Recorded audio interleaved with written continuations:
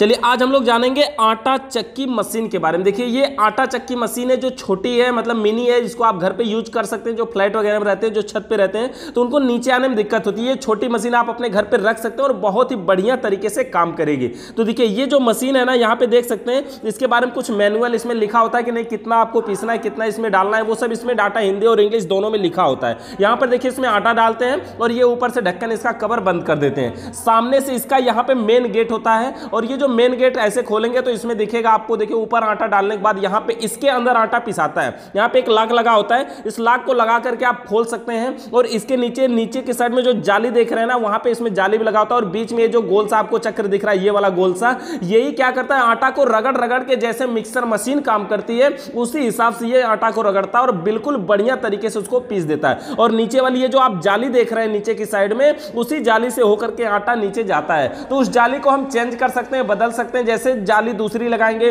तो महीन आटा जाएगा, मोटा मतलब जितना पीसना मतलब दर्रा पीसना है कि आटा पीसना है, उसी हिसाब से आप काम करेंगे। तो ये देखिए, हो जाएगा हमारा यहाँ पर आटा ऐसे और किनारे किनारे में आटा ऐसे रगड़ता है।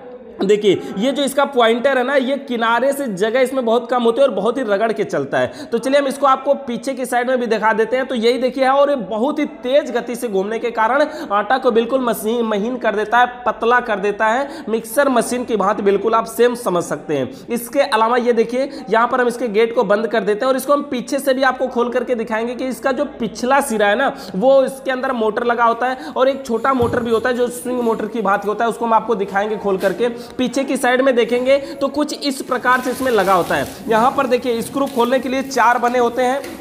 आप चारों स्क्रू को खोल करके और इसको देख सकते हैं। और इसका ये मेन गेट का पॉइंटर है, इसको तो आपने देख ही लिया। इसका मेन गेट ये मल्टी कलर में सिंगल कलर में भी आता है। सिंगल कलर का मतलब समझिए, ये गेट के ऊपर जो फूल पत्ती बनी है ना, ये एक कलर में भी आता है। और इसके गेट को खोलने के लिए ऊपर वाला खोलेंगे और उसके बाद ही गेट को खोलेंगे, तभी ये खुलता है। डायरेक्ट अगर आप चाहें तो गेट खोलें तो ये जल्दी खुलता नहीं है सही से। इसमें डोर स्विच भी लगी होती है, यानी कि तभी ये काम करता है जब ये ऊपर वाला खुला रहे। तो इसके बाद देखिए, यहाँ पे आटा वगैरह डालने का तो आपको पॉइंटर दिख गया। और अगर इसके अंदर की बातें करें, पीछे के साइड अभी हम खोल रहे हैं, जब तक खुल रहा है तब तक आगे दिखा देते हैं फिर से आपको। तो इसी के अंदर हमने आपको दिखाया। और आटा देखिए, यहाँ से नीचे होकर के, ऐसे जाली से होकर के, कपड़े में से होते हुए, ये नीचे एक छोटा सा ड्रम की तरह है ना, इसी में आटा इकट्ठा होता है। इसको हम निकाल करके बाहर और आटा को निकाल लेते हैं और फिर से इसको लगा देते हैं, कपड़ा पकड़े रहते हैं और ये अंदर ही अपना काम कर लेता है। और बिल्कुल आवाज़ भी बहुत कम करता है और बहुत ही बढ़िया तरीके से आटा को काम कर देता है मतलब पीस देता है। और ये धारा कंपनी का है। ये कंपनी के हिसाब से भी अलग अलग आते हैं, इसका रेट भी बहुत ज़्यादा कुछ नहीं, और इसके अंदर होता भी कुछ नहीं है। एक दो मोटर होते हैं, इसमें एक मेन मोटर होता है, जो बड़ा मोटर है। देखिए, यहाँ पर हम आपको दिखा देते हैं, पीछे दिख रहा है।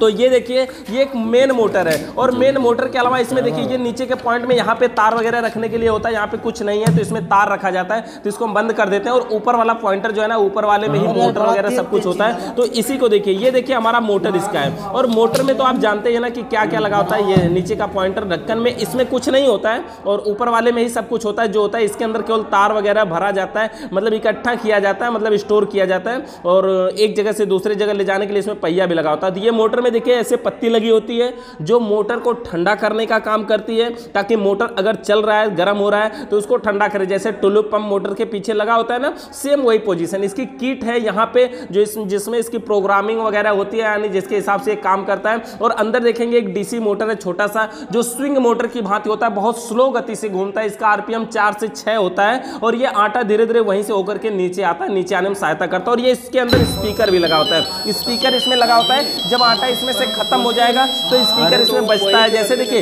इसमें तो टोन लगी है। और कुछ में क्या होता है? ये टोन की जगह पे वहाँ पे देखिए कुछ मतलब वॉल्यूम रहता है ना, जैसे आवाज़ बोलता है कि आटा खत्म हो गया, कृपया आटा डाले। तो जैसे आवाज़ उसमें सेट हो, किया जाता है, जैसे आटा दरना है या पीसना है या गेहूँ या चावल डालें आप, उसमें दर्रा पीसना, महीन पीसना, मैदा पीसना क्या पीसना है, उन सब के बारे में ये स्पीकर बोलता है। तो इसमें जो स्पीकर लगाया वो तो म्यूज़िक के रूप में बोल रहा है, यानी ये रिंग टोन के रूप में बोल रहा है, बोल रहा है, जैसे ना ये सेटिंग होती है फिक्स होती है। जैसे वाटर टैंक अलार्म का होता है सेम उसी कंडीशन कंडीशन में जैसे वाटर टैंक अलार्म होता है या फिर बेल स्विच को मान लें, उसी की तरह से होता है। और इस हिसाब से देखिए, ये हमारा जो आटा चक्की मशीन है, इसकी ये पूरी सेटिंग होती है। यही देखिए, जाली है जिसमें से आटा महीन या मोटा निकल करके नीचे जाता है और इसी में से होकर के और ये आगे साइड में लगा होता है। आगे साइड का मतलब समझ गया ना अंदर, जहाँ पे आटा पीसता है, जहाँ पे वो चक्र सा लगा था, वहाँ पर ये लगा होता है। उसी में से आटा अगर महीन चाहिए तो ये महीन जाली लगाते हैं, मोटा चाहिए तो मोटा लगाते हैं। और देखिए, ये हमारी मशीन का कुछ इस प्रकार से ये मशीन का लुक है। और अगर आपको इस मशीन से रिलेटेड सवाल या सुझाव है तो कमेंट करके बताइएगा। चैनल पे नए आए हैं तो सब्सक्राइब करके बेल आइकन को प्रेस कर लीजिए। वीडियो देखने के लिए बहुत बहुत धन्यवाद। और ये जो वीडियो है ना, ये पहले से रिकॉर्ड की हुई थी, बहुत पुरानी वीडियो थी तो सोचा हमने फिर से अपलोड कर दें इस टाइम। तो इसलिए इसको हमने दोबारा से अपलोड कर दिया। इसमें आवाज़ अलग से डाली गई है, वीडियो अलग शूट है। इसलिए आवाज़ और वीडियो में थोड़ा सा